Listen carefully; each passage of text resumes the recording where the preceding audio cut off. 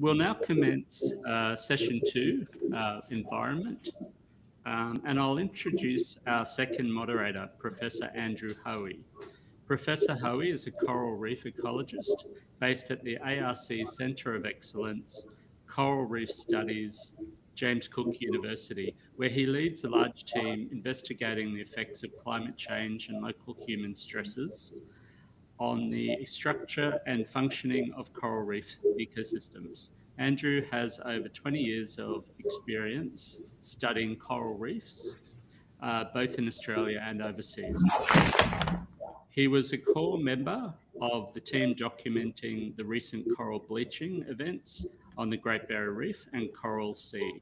In 2011, he was awarded a Churchill Fellowship to investigate the effects of seaweed chemicals on the health of reef building corals, which helped to shape his current focus on understanding the importance of different species to the recovery and resilience of coral reef ecosystems. Please welcome Professor Hoey. Thanks, Ken. Um, what a wonderful introduction. Um, welcome to everyone to the second session of the convention. As Ken mentioned, focusing on the environment. Now, before we get started, I'd like to acknowledge the traditional owners of the land from which we're all meeting.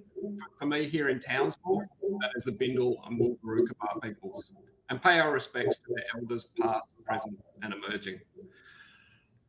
I'd also like to put out a special thank you to Ken, Jill, Kirsty and the team, really for all of their efforts and resilience in preparing and planning the convention under what turned out to be very challenging conditions. I mean, even with the outbreak ongoing or with the situation, I don't think we could have anticipated what they've had to go through over the last couple of weeks. So a huge thank you there. So our next presenter is Rebecca Prince Ruiz. Uh, Rebecca is the founder of a global movement that helps millions of people be part of the solution to the plastic to plastic pollution.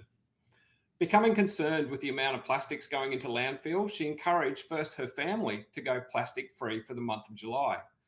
Her idea is now a global initiative with an estimated 326 million people participating worldwide. What, what an absolutely incredible achievement. Uh, Rebecca is the executive director of the not for profit Plastic Free Foundation that brings the public and business together with the vision of, of a world without plastic waste. In recognition of, of this work, Rebecca was awarded the 2021 Western Australian Local Hero Award as part of the Australian of the Year um, program. She was a 2015 uh, Churchill Fellow, and now I'd like to pass over to Rebecca. Thank you. Pollution problem and how changing our own behaviour. Hello, my name is Rebecca Prince Ruiz, and today I'd like to share with you the story of my journey over the last decade working on the plastic waste and pollution problem and how changing our own behaviour is key to tackling some of the wicked challenges facing our environment. I'd like to start by acknowledging that I'm speaking to you from Whadjuk Noongar Boodja in Western Australia and pay my respects to their elders past, present and emerging. For it's their continuing custodianship of this land on which I live that gives me hope that we too can start to turn around some of these issues. So the Plastic Free July Challenge that I work on started a decade ago. And it started with not a grand ideas for a big campaign, but really about making small changes. It started when I was working in local government and went to a local recycling facility where the waste from my yellow lidded bin that I put out on the curb every fortnight went. I was really overwhelmed by two things. One is just seeing the sheer volume of waste. I knew what our waste looked like that we made in our home, but seeing my waste with my neighbours and everyone else in my suburbs and my street was pretty overwhelming. And secondly, just looking at the process and understanding the journey that my waste went on. After all, before I just put my waste in, I'd throw it away and never really thought about what away was or where it went. And what happened when you, it got to this facility is it sorted into the different material types into paper, plastic, metal, and glass, and then baled and shipped for reprocessing and recycling. And I used to always feel really good if I filled my recycling bin. I kind of thought I was saving the planet. Now, it's not that recycling isn't important, but what I realized when I went to this facility was that the best thing that I could do, the best choices that I make, was actually to limit what I produced.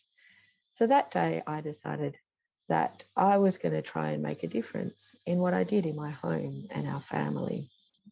The next month just happened to be July. So I set myself a challenge of just trying to avoid not all plastic, but just the single use plastics that were ending up in this facility and, and also, unfortunately, our environment. And so the next day, uh, about 40 of my colleagues and our volunteer network in local government decided we'd all give it a go. And from that day, back in June 2011, we've now grown what was, I call it accidentally, a global movement where millions of people take part. And I've got to admit, it was more of a challenge than I thought, changing my own behavior. I thought I was pretty good. I always took my water bottle, I had my reusable shopping bags. But what it made me realize is plastic was everywhere. And it was actually more of a challenge than I thought. So this uh, this is photos of my three children. And 10 years ago, this was our first plastic free July. My son ended up carrying the shopping home um, because, yes, I had plastic, uh, uh, reusable shopping bags, but I forgot them. And the challenge with plastic is it's cheap, it's often given out for free. Well, then it was the, the single use uh, plastic shopping bags were given out for free.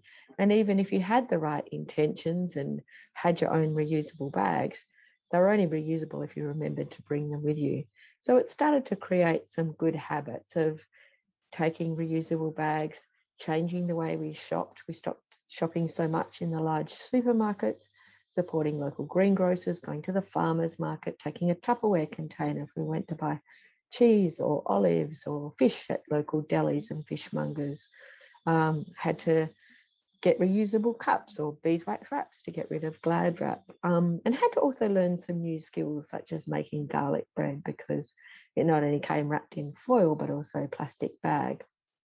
And but one of the things that we learned that by doing it together we were able to share ideas. Somebody would say what do you do about pasta? And someone else would say well you can buy it from this store in a cardboard box, or this store has it in bulk, or here's a recipe. And we're also able to support each other with challenges because at that time people weren't talking about the plastic waste or pollution problem. We hadn't had the war on waste or David Attenborough's Blue Planet. Um, so it was still pretty new. And by supporting each other, we could have conversations around um, what to do if you said no straw please and you end up getting two and changing the way we asked for things and uh, starting more conversations and as we started to make changes in our own lives create less waste and often um, by stopping buying convenience food and fast food and lots of uh, processed packaged food we started to feel healthier and more connected to our community. And so the following year we did it again and 400 people took part and 4,000 and, and it grew from there really as a grassroots movement. And as we had conversations, um, people started to take it into their workplaces, into their communities, into their kids' schools, and it really grew um, virally and with no no um, strategy and no media spend and certainly no style guide. So I'm just going to share with you a bit more about the plastic waste issue and what we're talking about, because I think for me, learning about the problem and what we're tackling was really critical in figuring out the solutions. And so I think it's always really important to start with that this is a relatively recent problem. We've only invented plastic a little over 100 years ago, originally to replace material like ivory and tortoiseshell. But it wasn't until post World War II when production really ramped up. And this is a, a cover from Life magazine back in the 1950s, where people had to be taught to to, to, to throw away items that had only been used once, such as these cups and utensils and plates because I don't think it is in our nature to be so wasteful. So production has increased and it's increasing. The estimates are that uh, plastic production will, in, will triple by, by 2050 at the rate that we're doing it. And the challenge is though most is technically recyclable. Our recycling systems just haven't caught, uh, kept up with that. So of all the plastics we've ever made, we've recycled 9%. And of that 9%, only 10% more than once. So it tends to be downcycled. And that was part of the reason behind choosing plastic as the, the subject matter at a time when it just was not on, on people's radar. And I, uh, ha- having a science background, for me, it was really important to understand the problem that we're tackling in order to develop solutions because I really wanted to to make a difference in in the work that we were doing. So through the Churchill Fellowship, I had that opportunity to spend a couple of months looking at not just the research uh, on the issue, but also the range of solutions that it's going to take to start to turn around this wicked problem. So one of the things that that that it, that was part of this research of mine was that just uncovering that whilst a lot of the awareness has come from the ocean plastic pollution problem, that the majority, about three quarters of the plastic waste in the ocean comes from land, and that's where we need to start acting to make changes. I also, uh, through participating in marine debris research expeditions, really understood that we cannot clean up our way out of this problem. Unlike organic material, which breaks down and returns to the soil, plastic breaks up into smaller and smaller pieces. And unfortunately, when that happens, that when it can be that's when it can be ingested by our wildlife.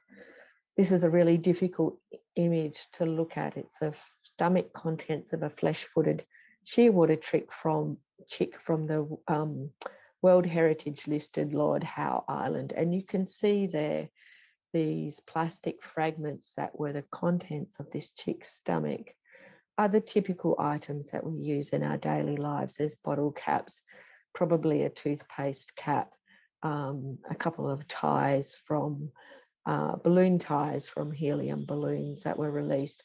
This chicken never left its nest, and within its stomach is a whole range of our the end result of this throwaway society. And whilst in Australia we have relatively pristine oceans on a global scale. We've got great waste management systems, um, which of course need improving and, and education. We actually, because of their high levels of, of, of seabirds, the area in the world that seabirds are most at risk from plastic pollution is the Tasman Sea and the Southern Ocean boundary. So for me, it was really important to have this in perspective that this is a problem in our own backyard. And I think really believe it's something we can all be responsible for. What I also got through this research and my Churchill Fellowship was an understanding that we need to measure the issue and identify what the problematic items are in order to um, in order to make make changes. This was a, a water wheel in Baltimore and it was collecting all of the the trash that was floating on the surface and it, um, as it takes it up that conveyor belt it dumps it into a skip over the back and you can see here uh, a common array of particularly food and beverage containers. So understanding what these common items were not only uh, encourages people to make changes in their own lives but also um, is a is a foundation for getting the systemic change and, and, and policy change that's also critical. So whilst my motivation and our campaign is very driven by the problem and by the issues, what we did at the start just instinctively by sharing solutions and having conversations and doing it with our community has now formed a decade on the basis of our campaign because we now understand that this is also the basis of behaviour change best practice. So we know through our research that people are aware of the problem. No one's okay with this plastic waste ending up in landfill and ending up in our oceans. In fact, 90% of Australians say they're concerned about this. But there is a gap between people's choices and their behaviours. And so what we try and do with Plastic Free July is to reduce that gap. So you will see this is the homepage of our website. You can just Google it, Plastic Free July or plasticfreejuly.org. We're really focused on closing that value behavior gap. So the language is really inclusive, it's encouraging and positive. It's join millions of people. Will you take part? So we can have cleaner streets, oceans, and beautiful communities. And our tagline isn't say no, our tagline is inclusive and positive. It's choose to refuse single use plastic. And so, just like people said, they understand the problem, they also said they want to know the solutions. So, we share ideas and actions that people can take in their homes, in their kitchens, in their bathrooms, and also uh, into their communities. And they also want to know what other people like them are doing. So we also share stories of what people do to take Plastic Free July into their school, what councils do in communities, what people do in their families, what corporates do. Um, and I think that's really important because what we don't need to do is uh, duplicate what's already happening out there. And I really believe we need to learn from others and we have to tackle these issues together.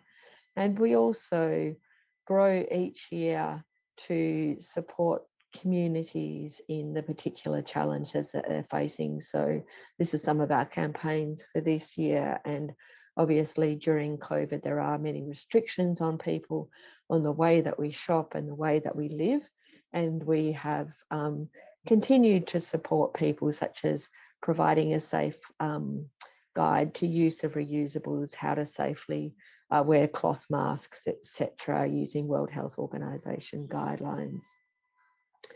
So these are some of the Plastic Free July participants. We have schools in India making reusable bags, uh, workplaces in London having plastic free lunches, physios making the switch to reusable um, glasses uh, for their clients and um, uh, switching to reusable coffee cups for their own for their own coffees. There's uh, this is from the photo on the bottom right is a community in the Caribbean on St Kitts and St Nevis. They have a plastic-free July parade every year and lots of workshops and activities, and it's their key month to tackle the plastic pollution issue and they're really motivated to have a clean environment um, and which supports tourism for their economies. And some more stories and, and images just to give you a flavour of how we inspire behaviour change in our community, of sharing what people are doing. And it's everything from changes in people's own lives to Jeannie and Amanda in the top left there who realized doing Plastic Free July, they were doing a lot of driving to buy their um, food weekly, do their weekly shopping without packaging, and they ended up starting their own bulk food store. And our participants range from my neighbour John, who um, started with his uh, switching to reusable shopping bags and then uh, also making a switch to reusable produce bags when he was buying fruit and veggies to the artist and musician Jack Johnson, who for Plastic Free July worked with the music industry, uh, gave his custom, uh, concert goers reusable pint cups, and then worked with the venues that he was touring to uh, put in water filters and accept reusable cups. And uh, around the world, we see inspiring stories like this and people translating all of our resources and materials into other language. So we're not out there doing the work on the ground, but through sharing ideas and stories, and that that's the way that this ripple effect of, of of change grows.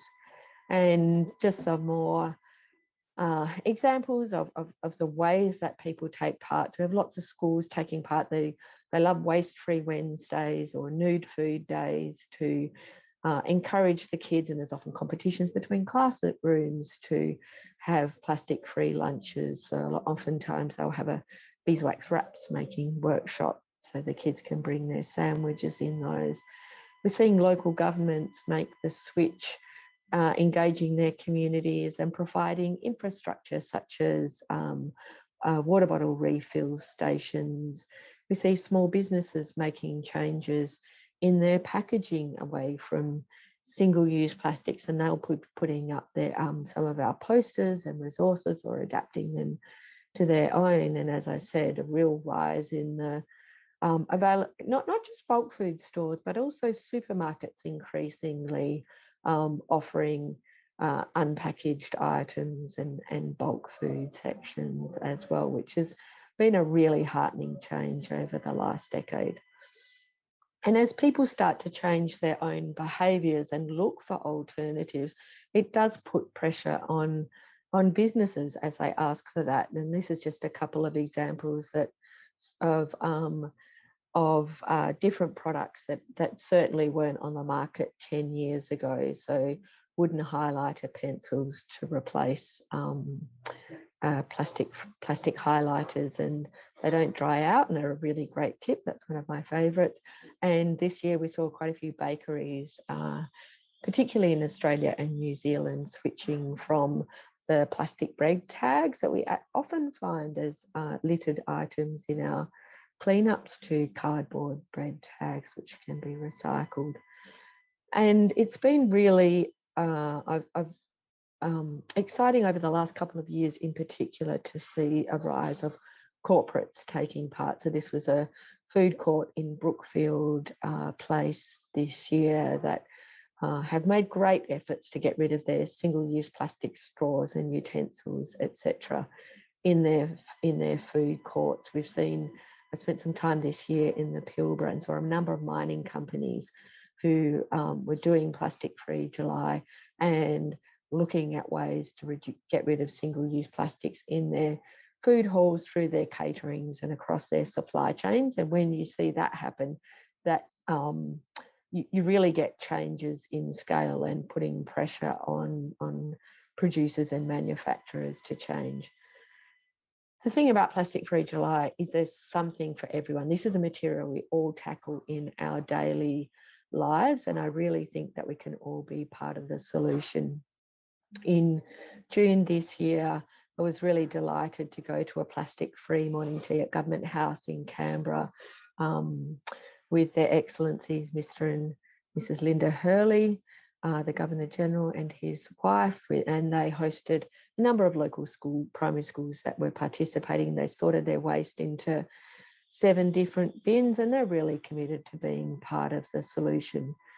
And sometimes there's um, the solutions are just as simple as cafes offering a basket of donated mugs to um, the image on the right is uh, I saw at a cafe the other day I'd given a, a plastic free July talk to the staff of Rottnest Island Authority and they were in the um, cafe they'd made a switch to uh, reusable cups for their board meetings.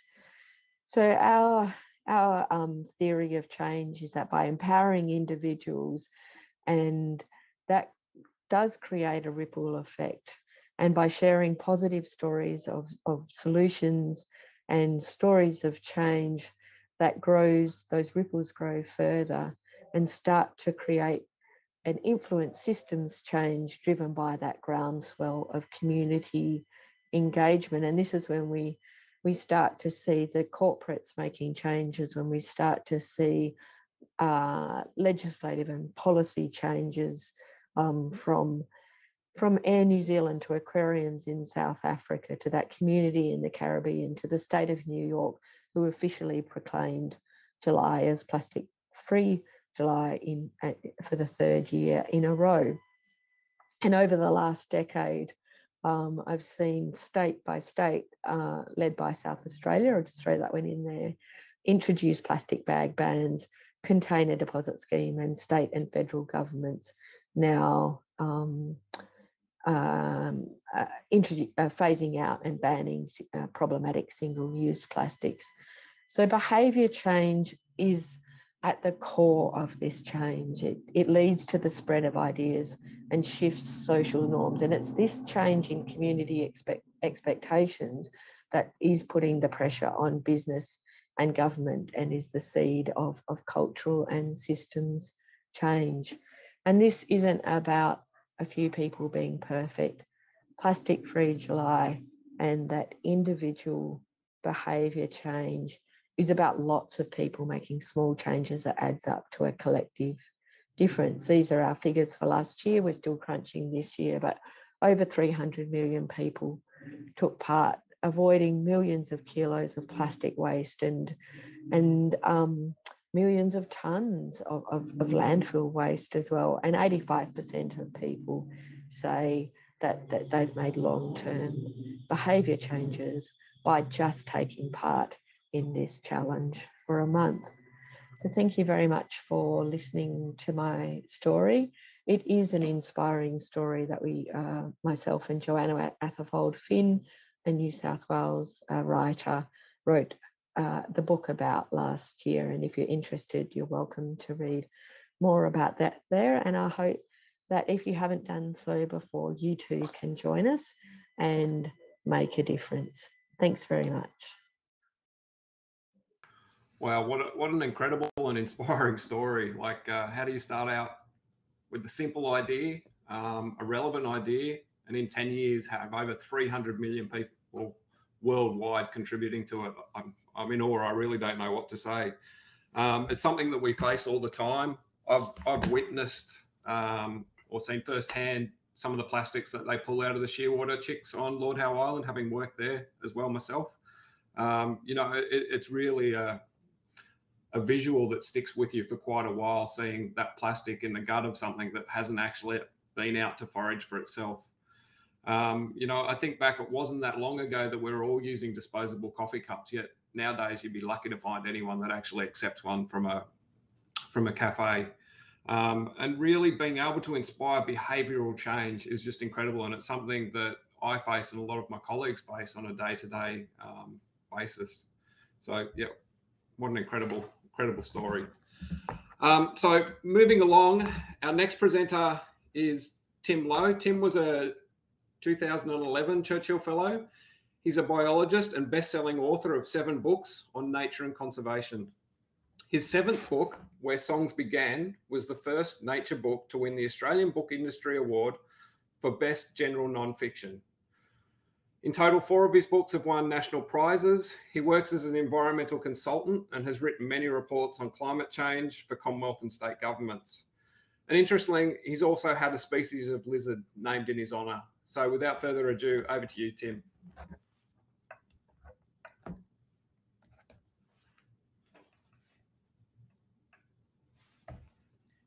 There are two big statements we can make about climate change.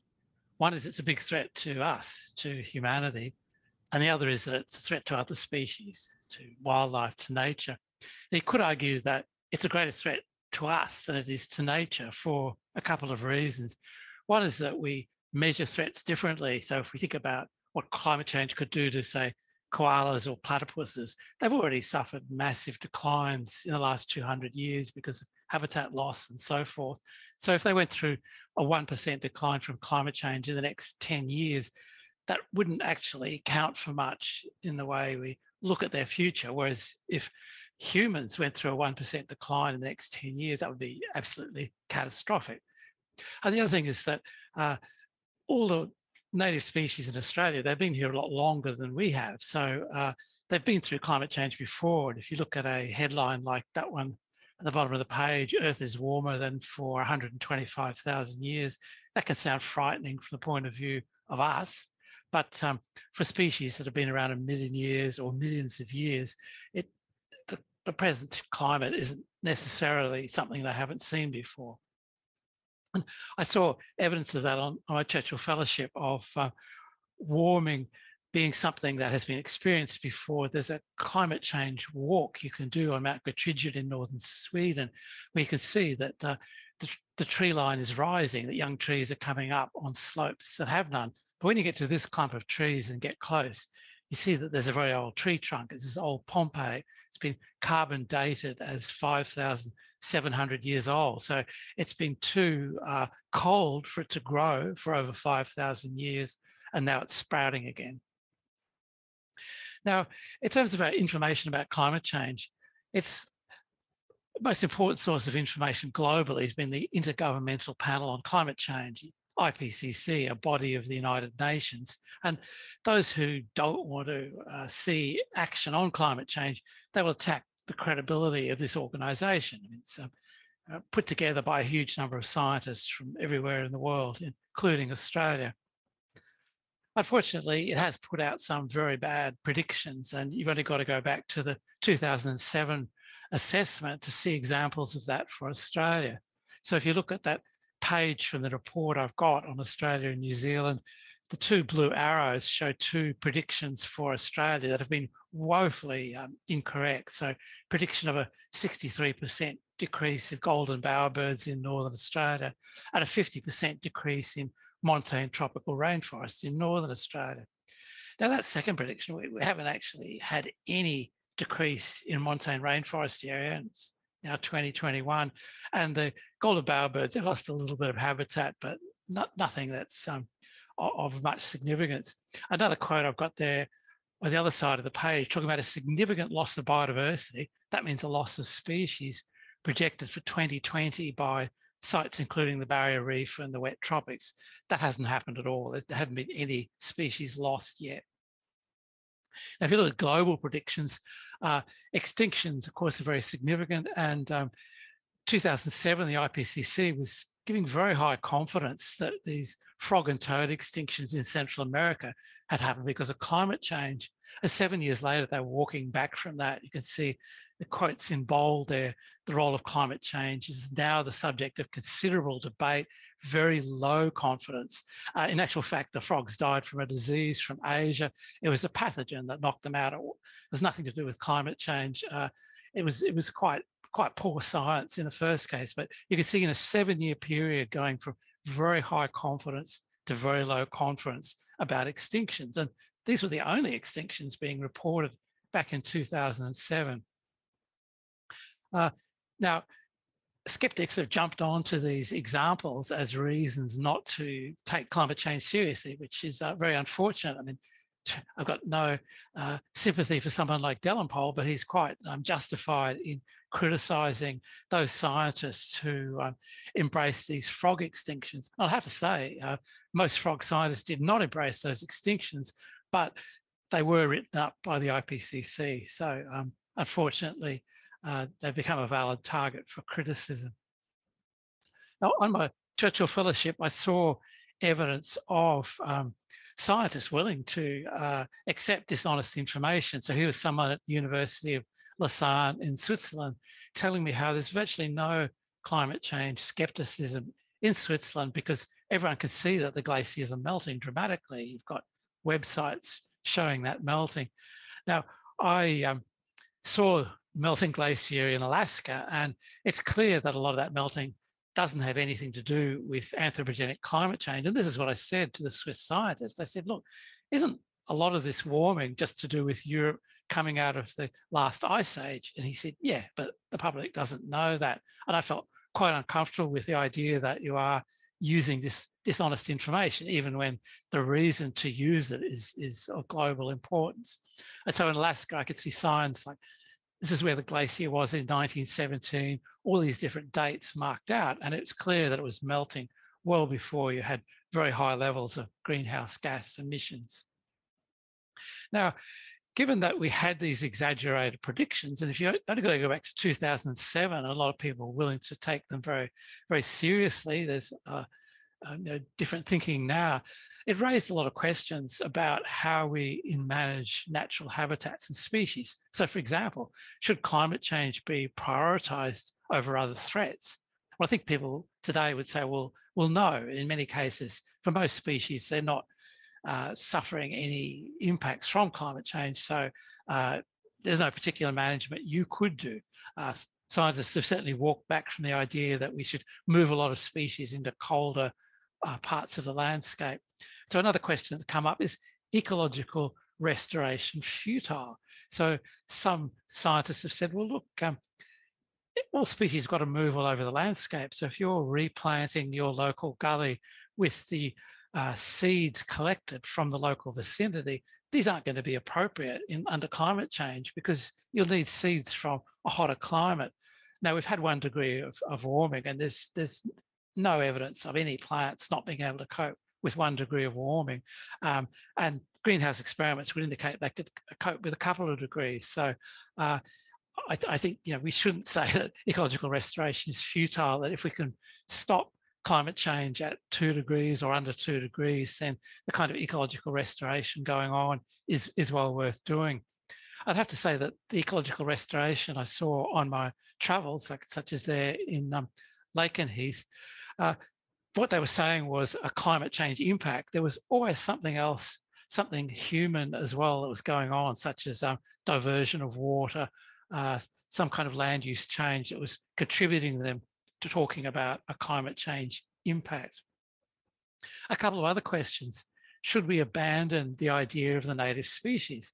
So some people are saying, well, species have got to move. They can't stay where they are. So the, the idea of the native distribution it doesn't make sense anymore. So we, we can't talk about species as being native to one place. But once again, if we accept that these modeling predictions have turned out to be um, exaggerated, I think we can talk about the native species. Another question, should we encourage species to move? This is um, a very interesting one because um, some species are moving. Now, in Australia, this is really only happening in marine environments. That's because we have really strong south flowing currents that can carry eggs and larvae south. And the East Australian current it is warming much more than global air temperatures are. And so we've had a whole lot of fish move from mainland Australia south into Tasmania, and also this long spined sea urchin, which is wiping out kelp beds and leaving these urchin barrens that you can see there. And this is considered a catastrophe for biodiversity. Uh, and the efforts underway are to stop these sea urchins, to kill them, to save the Tasmanian ecosystems from this movement. There's a scientific paper about another example uh, from the New South Wales coast where kelp in its northernmost uh, growth areas, it's disappearing, not because the temperatures are too high for kelp, but because the higher temperatures have allowed some fish to move south which eat, eating the kelp, wiping it out. And so once again, um, this is bad movement. And so um, we can now start to question the idea that the idea of encouraging species to move along corridors, the idea that we should be creating big corridors across the landscape, that's looking very questionable because the species that are moving, uh, as one would expect, are common species, successful species, not the ones that we actually need to move to survive. The rare species at threat from extinction, uh, they tend to have very small populations. They're stuck up on the tops of mountains. Moving is not really something that um, they can do. Now, if we go back to, um, I was criticizing this prediction about a 50% decrease in tropical rainforest in Northern Australia. So where did this really bad prediction come from? So uh, most of these bad predictions are based on modeling studies. And so what was done was it was quite sensible in um, the, uh, the, the methods that we use. It was a matter of looking at the mountain slopes in North Queensland, where you have tall tropical rainforest on the lower slopes. And then when you get above a certain altitude, it switches over into a montane rainforest where the leaves are smaller and the trees are shorter. And so it's possible to look at where that altitudinal line is on the mountains and say that if we get a one degree rise in temperature, that line will move so far upslope that the area of montane rainforest will halve. So that was a, a, fair enough as a process. But what didn't happen was a consideration of how that line will move. Now we know from greenhouse studies that the montane trees, they can actually tolerate quite high temperatures, much higher temperatures than they're getting. And so that what is actually the threat to them? It's not climate change directly, it is the lowland trees moving up slope and replacing them. And the way this happens is that when a montane tree dies of old age, a lot of seedlings come up in the understory. Some of these will be of lowland trees. Birds are moving the seeds around, and these will grow faster, they'll grow taller, so they'll be able to outgrow the montane trees. And eventually, you'll get a changeover into montane rainforest. But this, this could take hundreds of years. It could take a very long period of time. Certainly not going to happen when the temperatures change. This is why we're not seeing a change. But it also means, in terms of management, that there is a possibility of actually weeding out those lowland trees so that the montane seedlings become the ones that do survive in the future. Now, on my travels, I got to see uh, illustration of how these montane trees can tolerate higher temperatures. So here's Sonja Wipf. She's quite critical of these climate modeling studies because she studies the um, lifestyles of the alpine plants.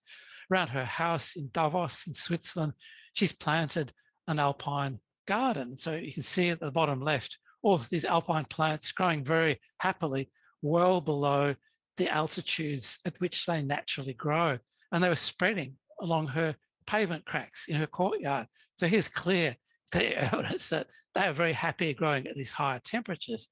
And what, what does it mean? It means that the reason these plants can't naturally grow at these lower altitudes is because they're shaded out by shrubs and large trees. And so that if we can manage shrubs and large trees, we can save the, the alpine flora in a large measure.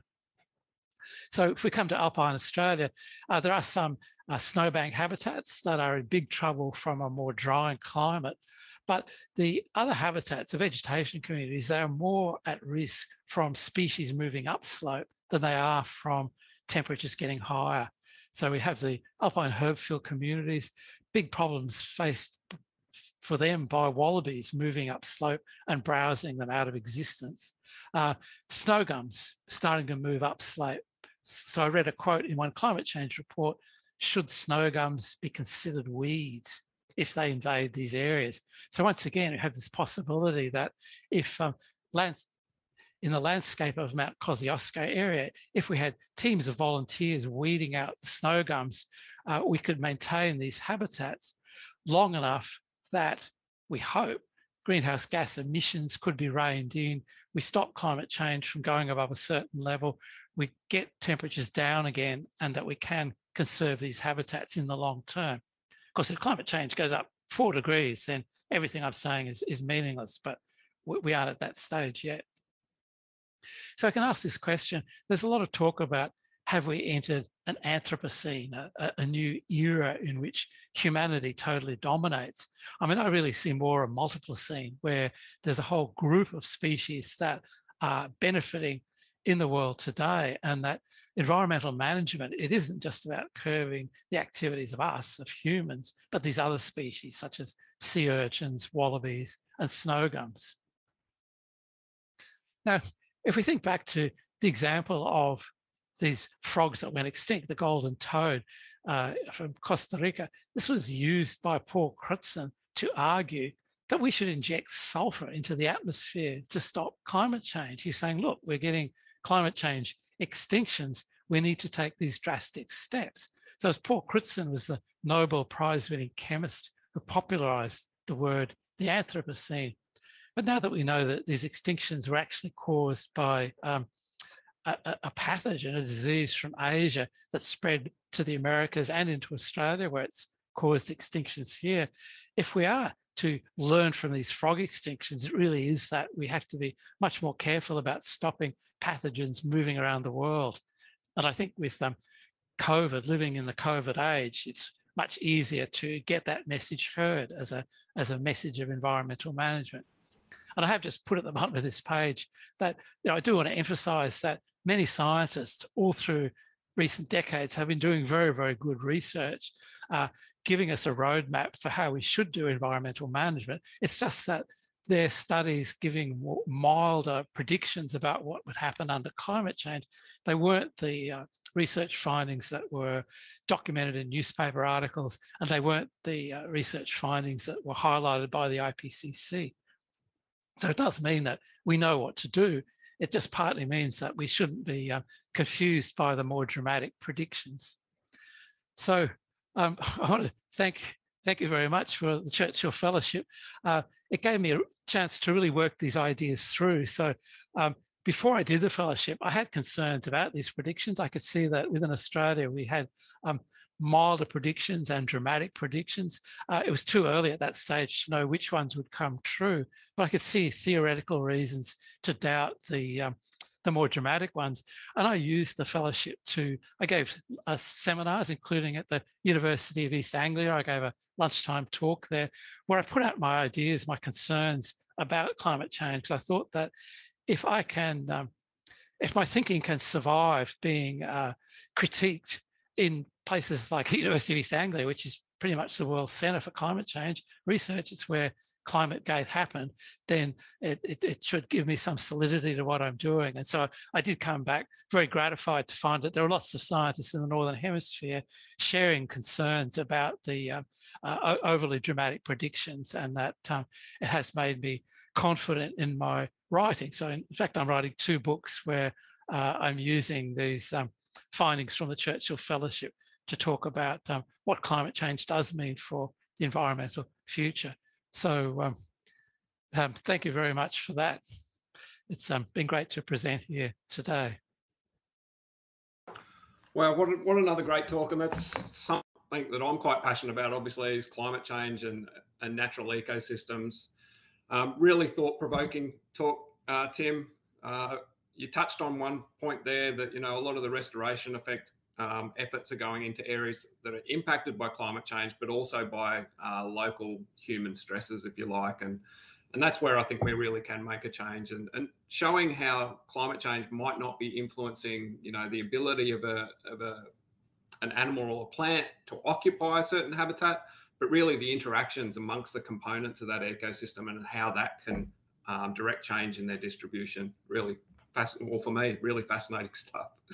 Um, so moving right along, and in the interest of time, um, our next present, our next presentation is from a, a co-presentation from Scott Falconer, who was a 2017 Churchill Fellow, and Trent Nelson. So Scott is the direct, is the Deputy Chief Fire Officer and Director Forest and Fire Operations for the Victorian Department of Environment, Land, Water and Planning. Now, Scott together with Trent Nelson, the director of the Dja Dja Wurrung, I hope I got that correct, uh, Trent, Clans Aboriginal Corporation have been instrumental in the reintroduction of Indigenous cultural burning in central Victoria for the first time in over two centuries. Um, over to you both. No worries. Uh, Delkaya, uh, everybody, uh, which means hello in my, my language and my grandfather's language. Um, my name's Trent Nelson. I'm a proud uh, Yorta Yorta Dja man.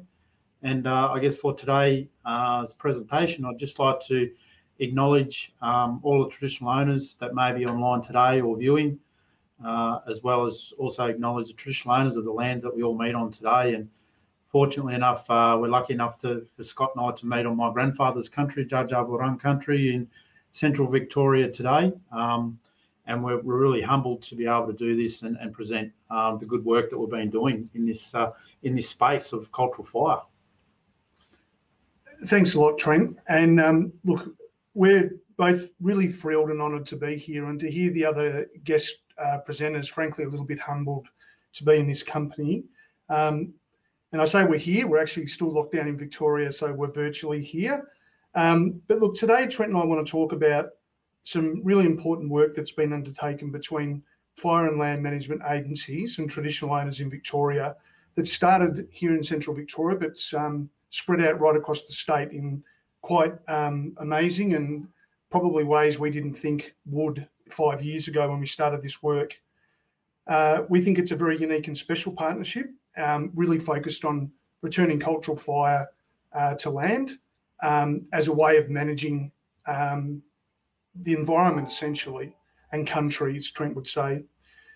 Now, we want to share a short video that we made with local traditional owners. In fact, Trent's mob from Dja Dja Wurrung a number of years ago when we were returning um, fire to country, to that country, Djaara, for 170 years. Uh, I'm thrilled that we we made that video because I think it really captures the heart of what this is all about.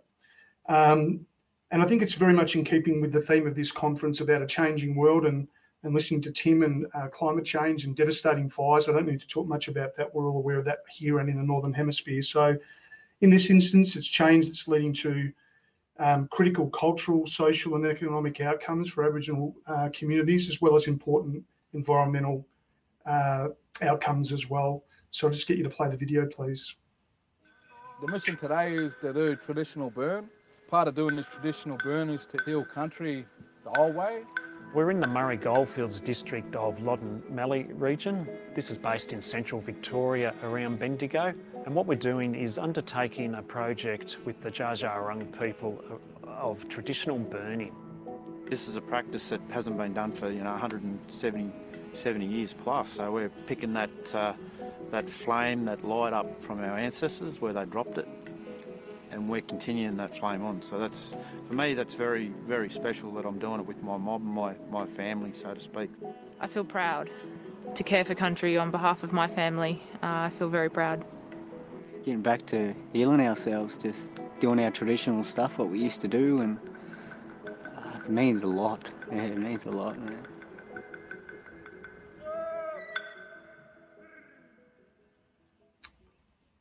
Uh, thank you. Um, that's actually a short take of a longer video that's available online. If you look at uh, Djandak Wi, um, you can see that on YouTube.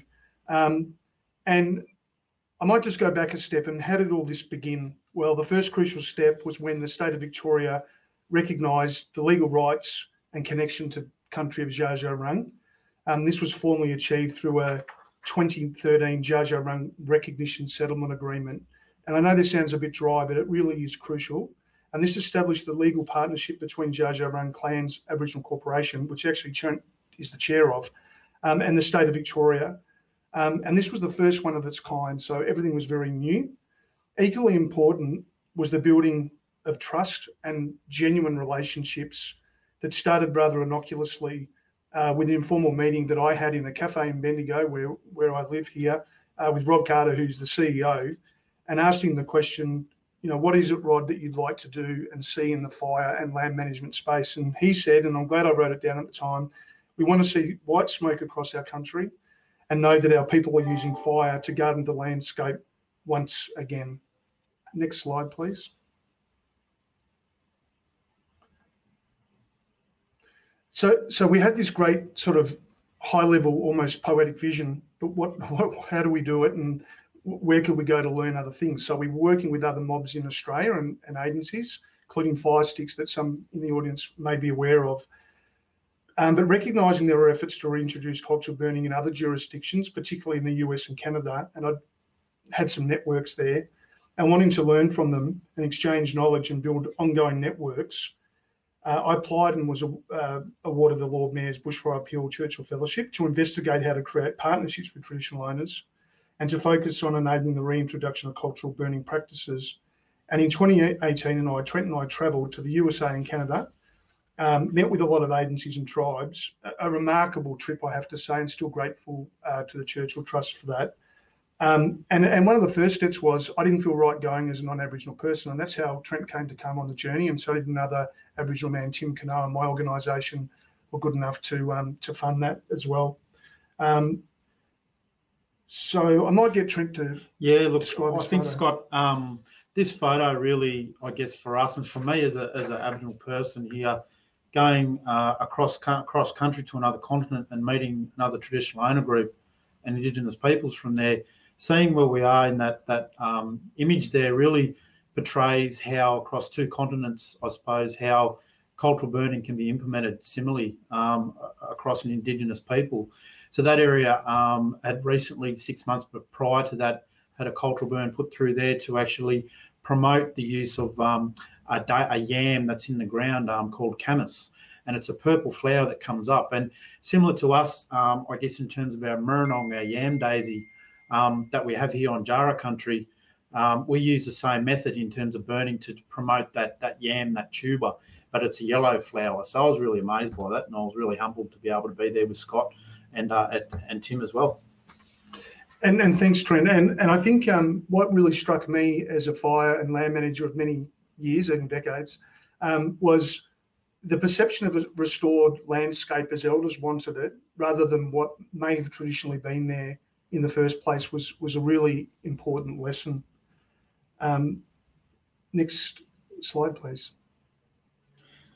So I guess in terms of uh, this slide here, you can see this is one of our cultural burns that was um, uh, up at uh, north of, of Bendigo, uh, up in a sort of swampland called Boort. Um, for us, really around healthy country and the benefits of cultural fire, really, I guess, supports us into heal the land as Aboriginal people. Um, we all know for 60,000 years plus, our people used the land, they, they cultivated the land, they propagated the land.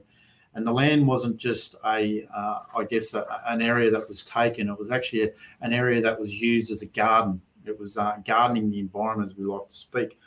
Um, I guess for us though, when we we go out on country and we look at areas that we want to introduce cultural fire, for us it's it's around not just um, implementing that fire for fuel treatment. It's actually about um, you know, creating a healthy country for us again. You know, so in instilling, um, I guess, our cultural protocols as Aboriginal people that our ancestors instilled in us, bringing that back and having our families uh, you know, our young ones, our elders back on country again and, and lighting using that flame technique is really important and using the fire stick.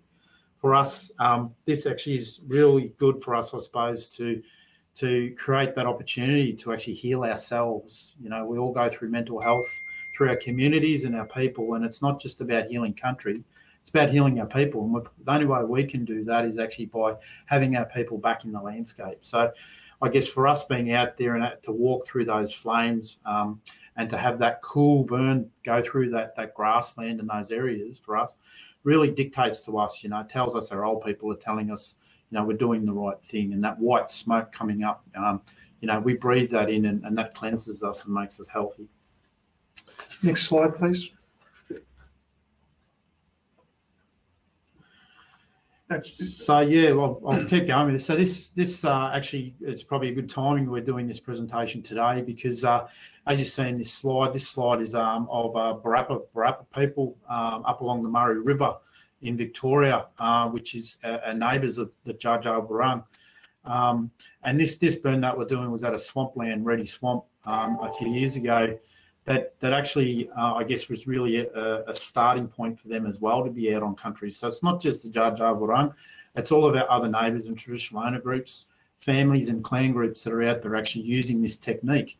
Um, and this weekend, uh, uh, Saturday and Sunday, we're actually going to be heading back out with the Barapa Barapa and continuing doing uh, you know more cultural burns with them up around the northern area of the grasslands around Kerang. So it's a really good time for us, uh, I guess, at the moment to be out there burning country with the people and and try and get them, um, you know, getting healthy and healing from, uh, I suppose, what we've been going through with COVID as well. Next slide. So th this is actually um, these are lessons and recommendations that came out of uh, the report that we did when we came back from overseas. Um, and I'll, I'll, I'll just summarise them. Uh, obviously, my report's available online. Um, but here's some key lessons that, that we think are really relevant even now that we've been working in, in this space for more than five years.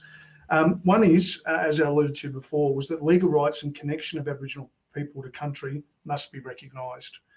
Um, trust is critical and can't stress that enough um, and must be established between parties, both Aboriginal and non-Aboriginal. Um, this must be built over time and is a key to forming that meaningful partnership, which we refer to as walking together.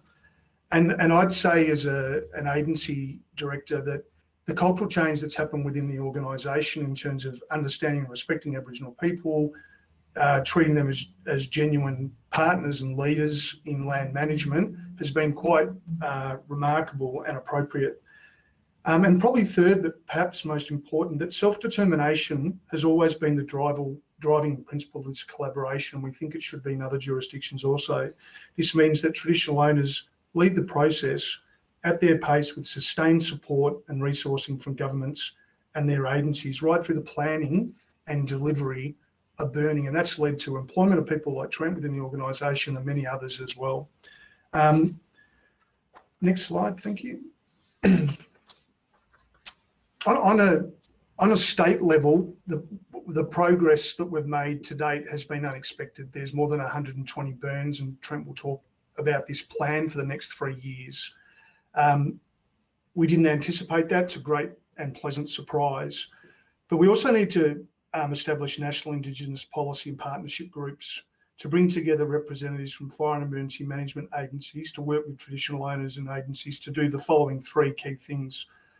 Um, identify and remove regulatory and social barriers to traditional owners' ability to manage fire. Now, I have to say that is a 20-minute um, presentation in its own right, that, that point, and it's very complex.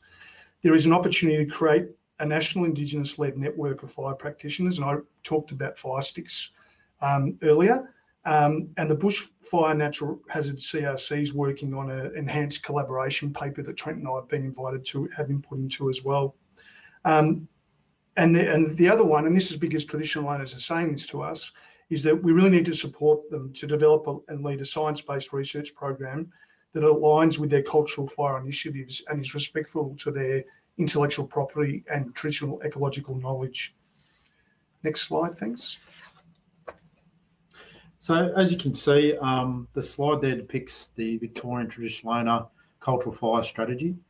Um, for us, I guess here in Central Victoria, from 2017 when we started this uh, igniting this fire back on country, for us we we utilise that with the Federation of Victorian Traditional Owners Corporations to come together with other um, traditional owner groups to actually build a document that actually can be utilised um, at that high level in government as a, as a guideline approach into how we implement cultural fire for traditional owners uh, as a strategy. So I guess the um, strategy outlines four pragmatic um, areas for fire agencies to invest in. So um, they are developing pathways in institutional frameworks for tr transition of sick country to a healthy country.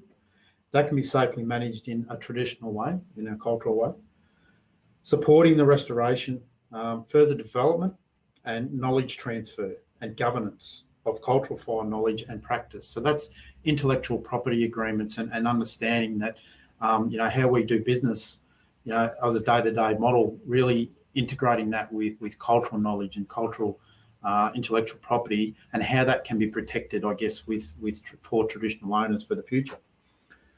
Um, traditional owners to lead the planning and management of public reserves and for those reserves to be managed accordingly for traditional owner knowledge and practice, enabling the use of cultural fire for multiple objectives, including healing country and people, as I talked about before. Most important. Um, last and foremost, sort of embedding cultural fire practices within fire management. And that's what's, I guess, so great about this partnership is that um, we a lot of our processes that we do with cultural fire, um, they're all embedded within dealt within forest fire management processes. So they don't stand alone. They're actually the way we plan our burns, the way we deliver those burns, are in partnership with the agency. So um, for us, we call that.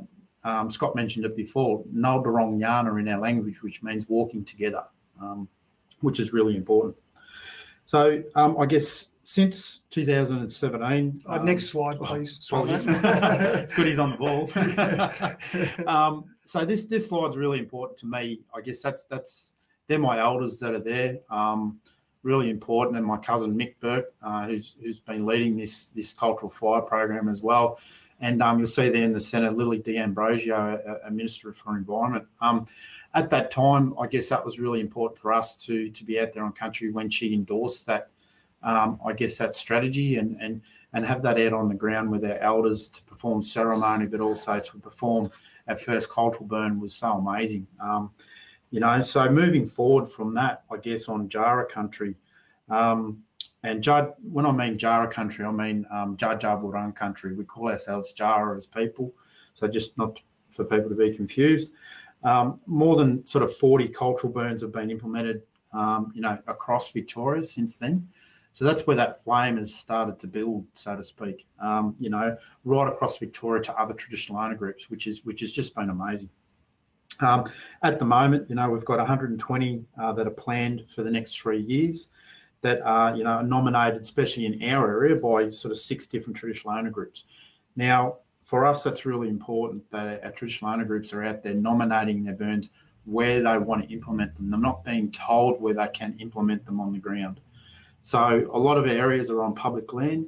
So national parks, state forests, they're actually out there nominating these burns themselves, and we're working with them um, as the government agency is DELWP to actually support them in planning and implementing them so they're conducted safely and actually the, the uh, cultural heritage, but also cultural value, values are actually protected and traditional owners can get out there and deliver them in their own way, um, which is which is really important um, for us. So, I guess in terms of uh, the bigger picture, the Victorian government has provided ongoing funding directed traditional owners to establish a Victorian Cultural Fire Leadership Group as well, which is is just start, just starting to sort of take off now, um, which I think is going to be a really key point in leading the next next realm. I think for the next few years of cultural fire uh, across the traditional owner groups and actually building better capacity in the groups to to have um, people out on the ground in full time positions, planning and delivery, uh, and working, you know, as well with with the department on a day to day basis, even more to build their capacity. So really important. Thanks, Trent. And um, I think that that formalising and systematising, I think that's a word, um, of of things through the fire strategy as well as this new Victorian Traditional Culture Fire Leadership Group are incredibly um, uh, innovative and, and groundbreaking, frankly, uh, really in keeping with uh, principles of self-determination. Um, next slide, please. And this is the final slide. Um, so um, Trent and I are also really fortunate to be able to go up to Canberra earlier this year and talk um, as part of a policy impact program that um, the trust put together. Um, and I've just, this is a bit of a plug for that paper, um, which you'll see the link there. That will give you a lot more detail and if it, it will be helpful for our other jurisdictions. Um, I guess in closing, look, we're still um, we're still really inspired. Um, these relationships are very, very well embedded in our respective organisations, um, and we're really looking forward to seeing what will happen in the future. And yeah, really want to sincerely thank you for inviting us here to talk uh, on this subject today. Thanks. Thank you. Well, Scott and Trent, I don't know why you're worried about your talk.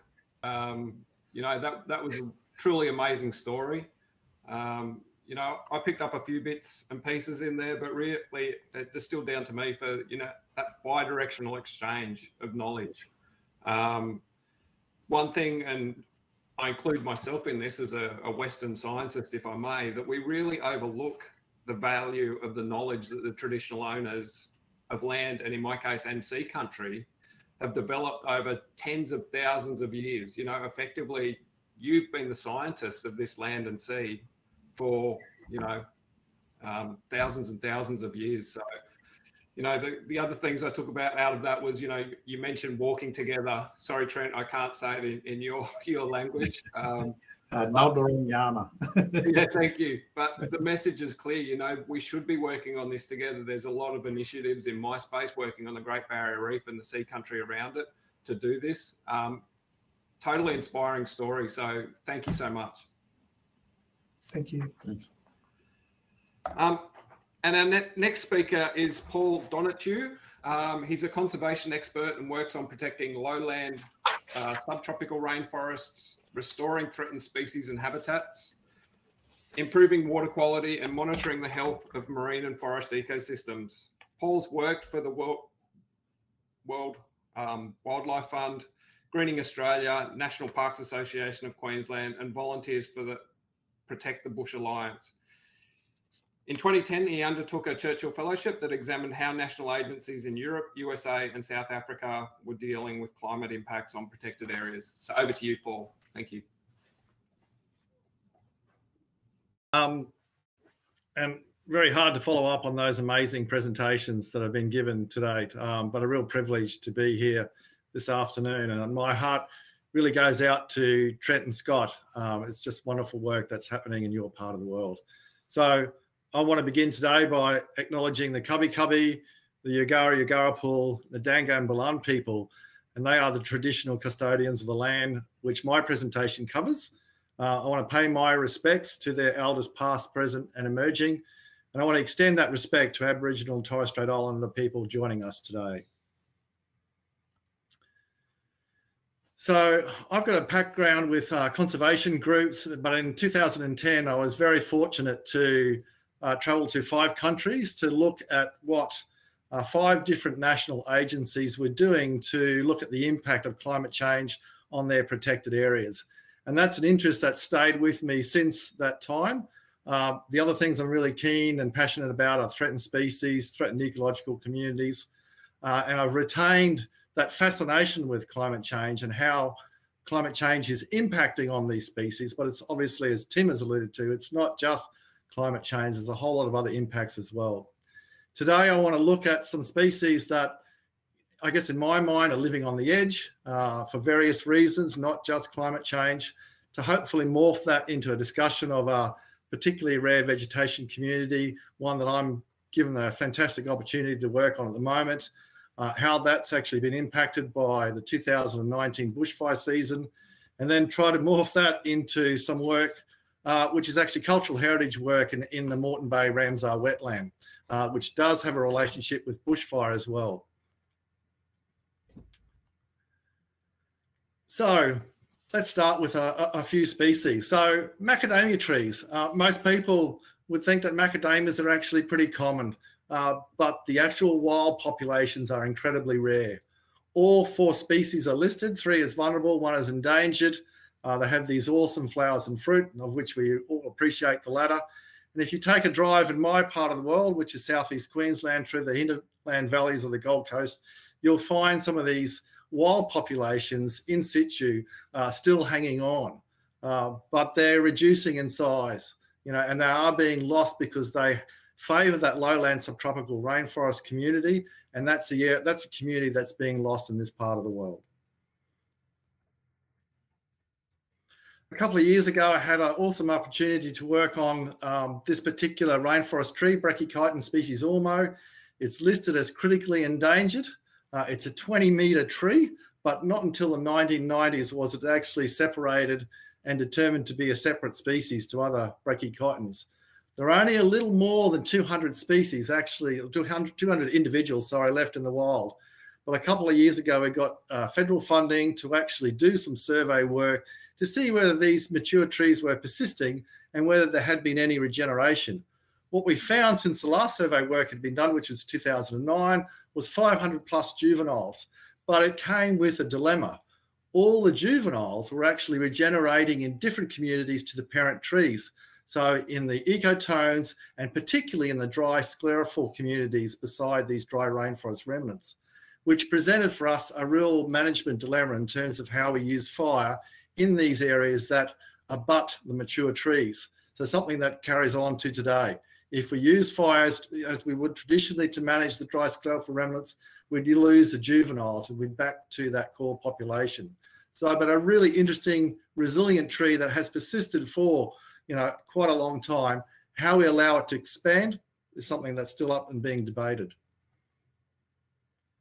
Some people will dis dispute whether this is our tallest orchid, but this is Phaius australis, the giant swamp orchid.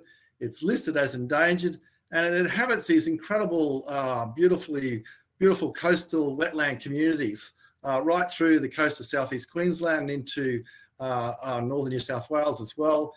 In the past, certainly these plants were threatened by the cut flower trade. Um, but now, because of the habitat that they favour, which is these Melaleuca wetlands, if those areas are allowed to dry and if wildfire gets into there, and that wildfire takes out the peat foundation of this particular orchid, then we lose this species.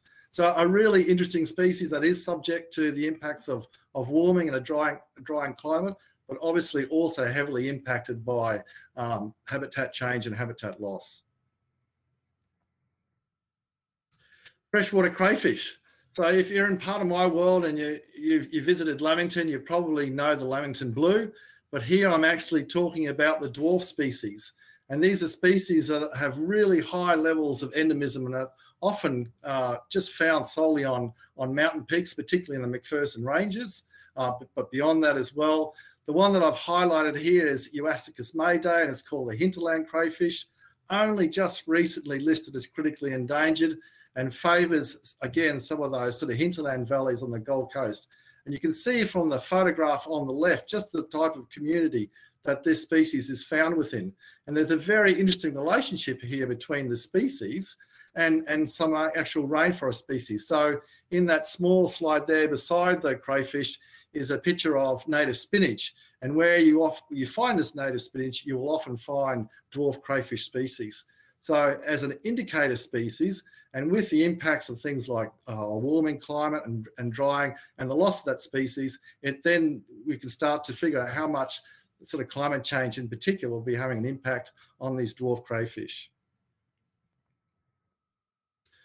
Shorebirds. Um, lucky to live on the edge of the Moreton Bay Ramsar wetland. Uh, but the one here I've highlighted is the eastern curlew, which is a critically endangered shorebird, uh, the largest migratory species. We have 10% of the world population, and it does like to feed off these sort of intertidal mudflats and sandflats. It breeds way up north in the northern hemisphere, um, but 75% of the total population actually winters in Australia. Now, in the uh, Broadwater on the Gold Coast, again, we have this incredible place called Curlew, Curlew Island.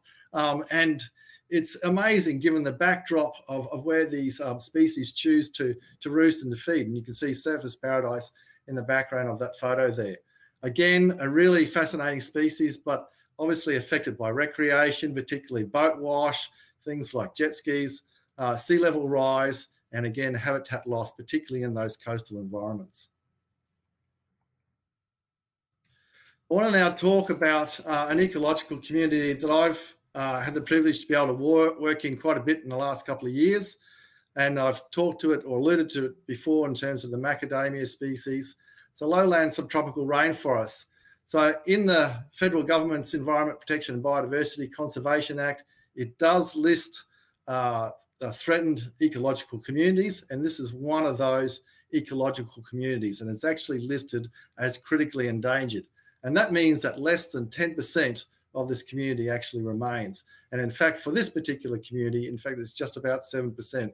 You can see example in, in places like Austinville, again on the Gold Coast, at the base of Springbrook and Lamington. Uh, but this is one of the communities that was severely affected by the 2019 bushfire season. And I will go and talk about that a little bit now. So in the 2019 fire, particularly the one that swept up the Illinbah Valley and went into Lamington National Park, uh, the, the northern communities of the national park were heavily impacted by, by fire. So this was a day at the end of um, September uh, where the temperatures were in the low, uh, the, sorry, the high, the, the, low 30s. There was practically no humidity. Uh, there'd been uh, a drying period for, for quite a while leading up to this time and fire raced up that valley. And this is the fire that ultimately actually took out the lodge at Binna Burra. Now, the fire that, that came into the park actually came in and did start to impact rainforest communities in Lamington National Park. And there's a whole different range of, of damage done. There was damage done to the canopy. There was a series of tree fall during and after the fire event. Uh, weeds started to get established, particularly in canopy banks, uh, sorry, in, in, canopy gaps. And then there, there was damage to soil seed banks as well. So some of the impacted species were certainly the rainforest plants themselves, but also frogs, uh, particularly some, again, of, of our freshwater crayfish, invertebrates, and some bird species as well. So you can see by these slides some of the, the weeds that were actually taking over after the, the fire went through. So some of the vines, some of the woody weeds, such as devil's fig. I talked about tree fall before and how that created a whole series of different disturbances after the fire. And you can see that low uh, panorama shot there where a whole canopy was lost in, in subtropical rainforest in the Illinbah section of Lamington National Park. How we were able to respond to that was to focus on uh, the park areas that were fire impacted. And we did basically two things. We wanted to tackle the weeds that were sort of transforming this environment uh, into a, a, ecologically compromised environment. And we were also able to spend some money on boundary fencing to, to keep cattle out. But it presented us with an interesting dilemma. And the dilemma was that, um, you know, what type of restoration approach do we take within this fire damaged environment? And how are the plants in this environment actually responding to fire? Are they resprouting? Are they obliged to come back by seed? Are they doing a bit of both? And how is fire intensity affecting that response? And I guess the other overlay for that was, well, how are the, what plants are actually coming back?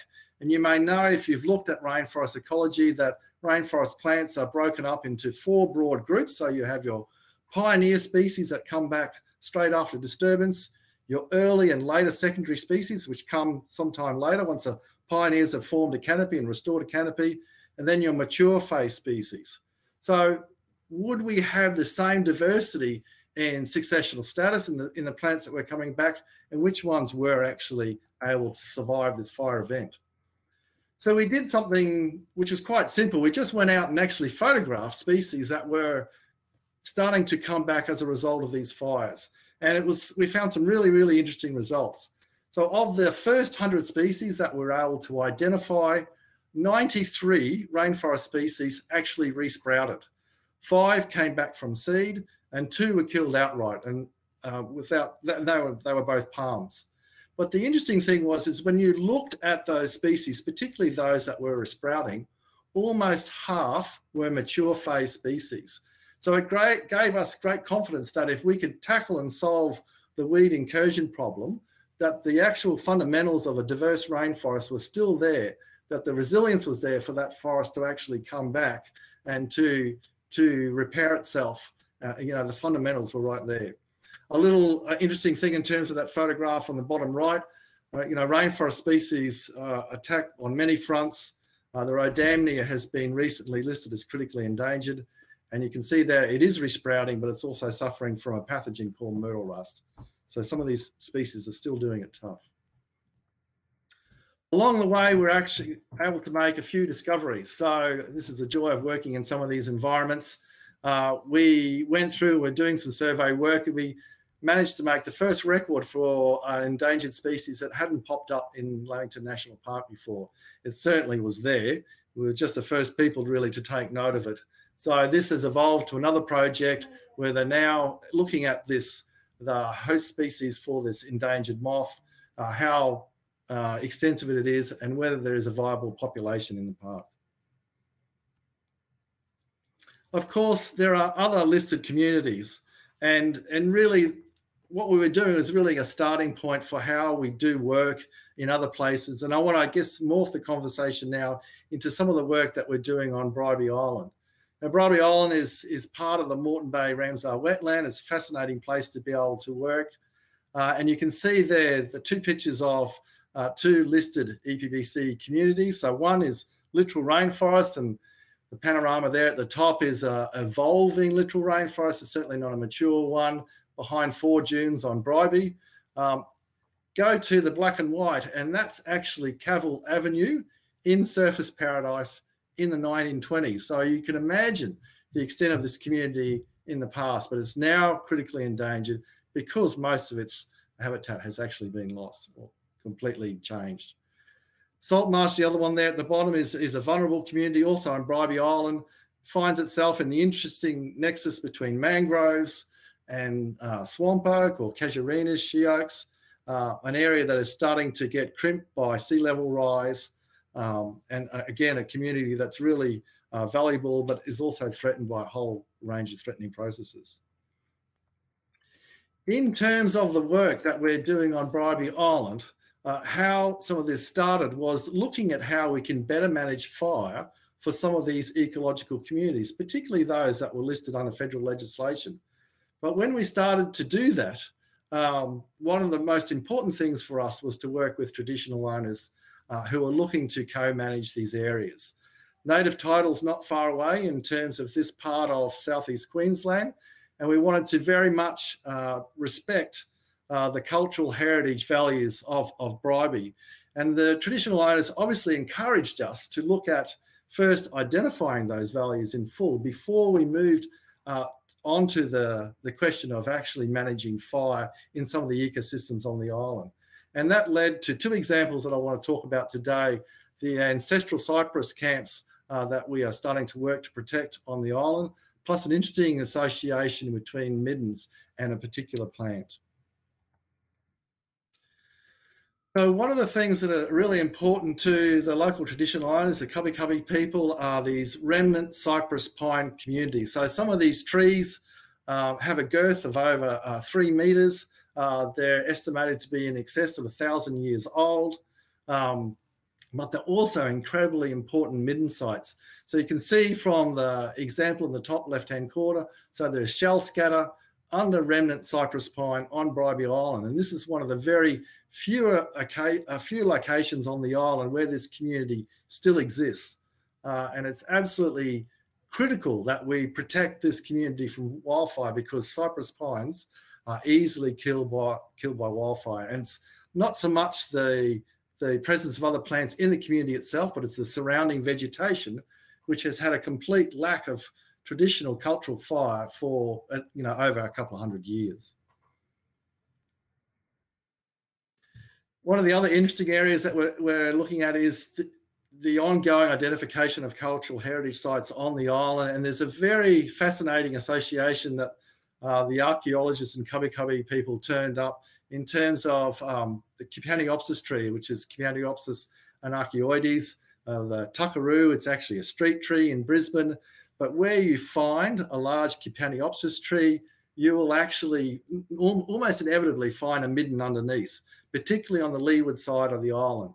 And there's a great example here at Mission Point on Bribie Island. And in these areas, you'll find lots of art, artifacts, including oyster picks that you can see there on the bottom right. So again, for us in terms of working particularly with traditional owners, it's not so much obviously the rarity of these communities, but it's the incredible rarity of the remaining cultural heritage values on these islands that needs to be identified and preserved. And that, that has been the mainstay of our work uh, for the last couple of years. There are obviously a lot of challenges in doing that. Uh, and a lot of those have been covered by other presenters. So I've talked about weeds in terms of that center picture and the, the matty ground cover there is, is, a, is a weed species that completely dominates the understory. Yes, there are interesting issues associated with sea level rise. So the image on the left is uh, uh, forest red gum or Queensland blue gum uh, being swamped by a, a high level uh, uh, tide and obviously sea level rise and, and has, has actually has, has, has died. And then there are other issues in terms of the invasion of um, other species into to various communities and transforming, I, I, guess, what those communities were in the past. So here on the right, you have a rainforest species invading a Melaleuca wetland, and it was probably the Melaleucas that actually invaded uh, that wetland in the first instance. So a, a, few quick reflections in terms of um, what I've done since my fellowship, you know, 10 years ago. I mean, I'm very, very fortunate to live in a biodiversity hotspot where there are lots of listed uh, plants and animals. Um, but what we have seen, particularly in recent years, and particularly as a result of the 2019 bushfire season, is that there are there is a lot of resilience in some of these communities. And what has surprised us a lot is that that resilience has extended to things like rainforest communities. And if we take the right approach in terms of our intervention, we can actually manage these communities to, to fast track their recovery. Uh, it's also the, the work that I've done. It's, a, it's, an opportunity for me to rethink, you know, what is rare, particularly through a cultural heritage lens. And I can't um, over, you know, underestimate the importance of, of walking country with traditional owners and being able to progress uh, co-management of country. Thank you.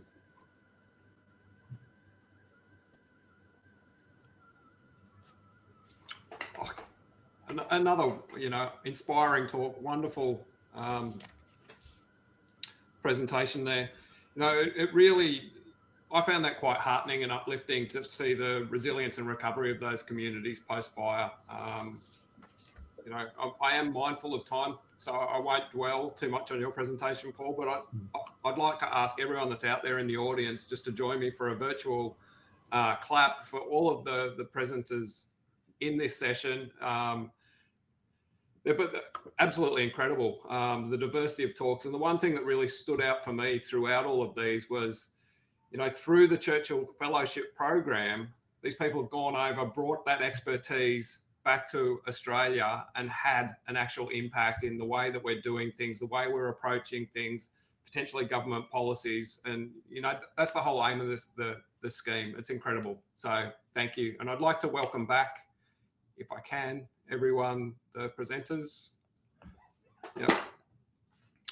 All right, beautiful. Um, I'm just going to quickly go through. There's been quite a few questions come in. So the first one that I can see here is to you, Rebecca. Um, is it, and it's from Michael Power, is it more than July you are aiming for, i.e., how does it go in sustaining the behaviour change long term rather than being novel for a short term or short time?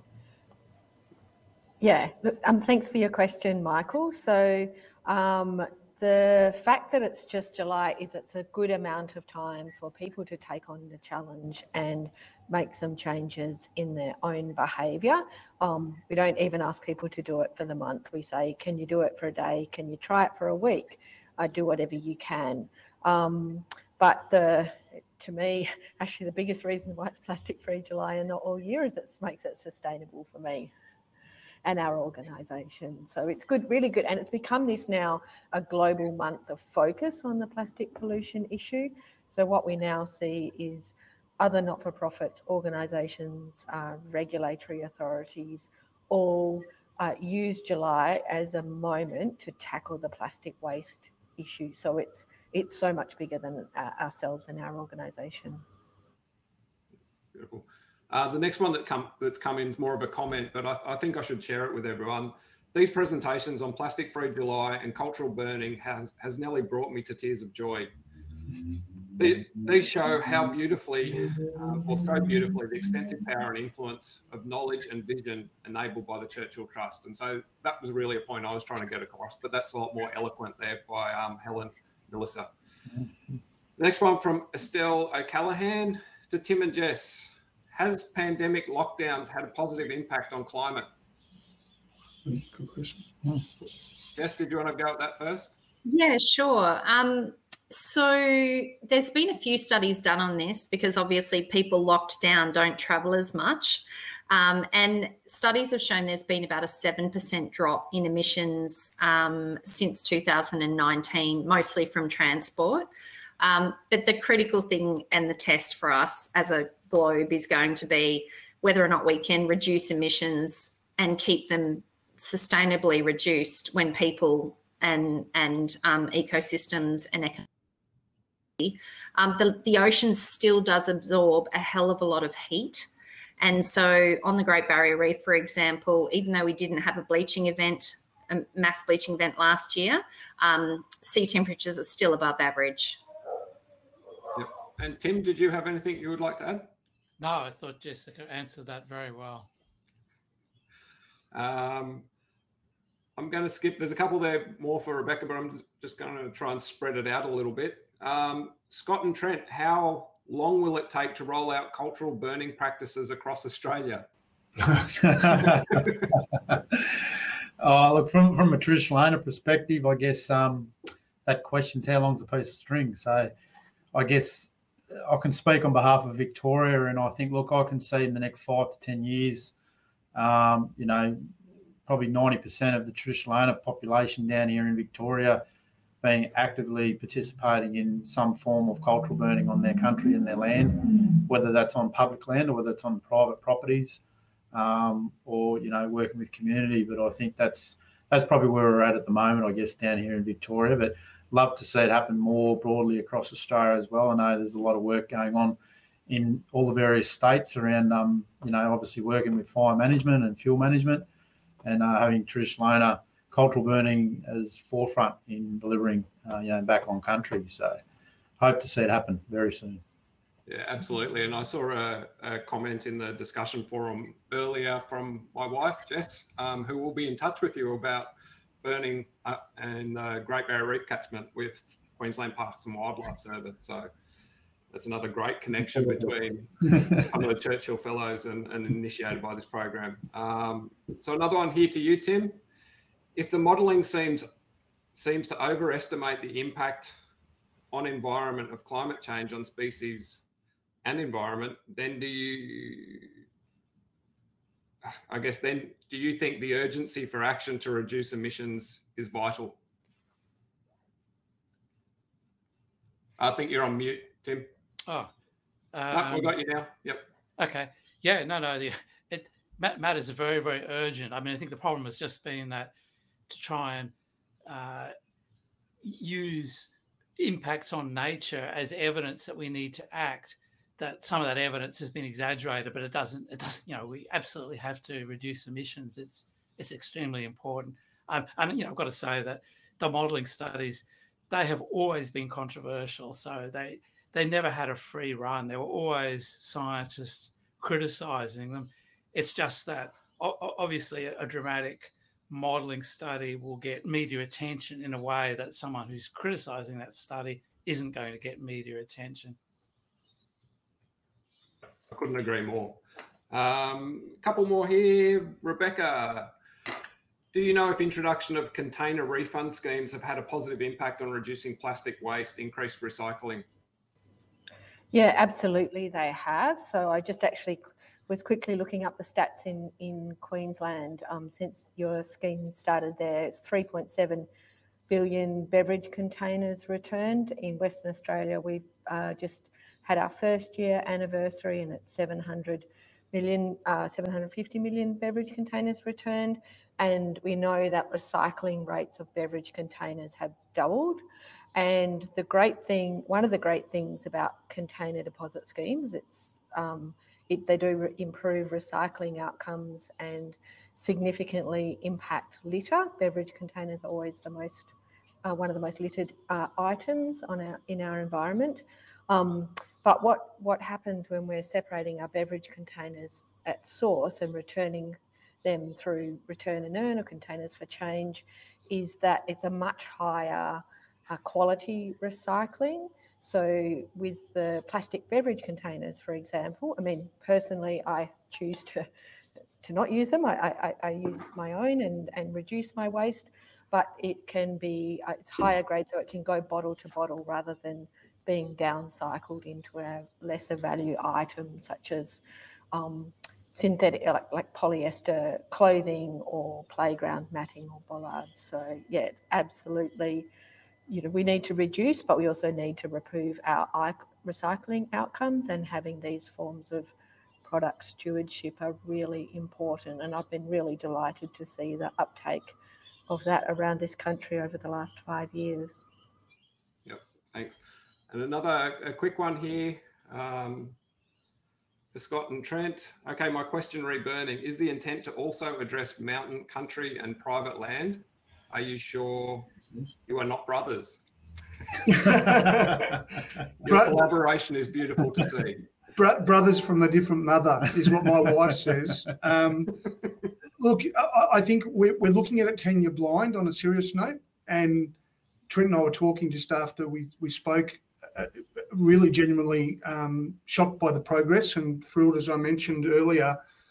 Um, so yeah, it's not it's not looking at a um, a tenure situation at the moment. The thing is, um, most of the fuel management burning as it currently stand or planned burning we talk about happens on public land, but we're also working with the CFA and Parks Victoria and other agencies and CMAs, and they're really on board as well. So we very much hope, and it's very much Trent's and other Aboriginal traditional owner groups in Victoria to to be uh, tenure blind because you know the fence lines either. So no, that's right. Yeah. So um, we've got about